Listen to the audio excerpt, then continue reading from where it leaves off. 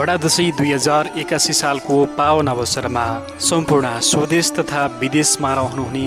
नेपाली दाजुभाइ तथा दिदीबहिनीहरूमा सुख शान्ति समृद्धि एवं उत्तरोत्तर प्रगतिसहितको हार्दिक मङ्गलमय शुभकामना व्यक्त गर्दछौँ।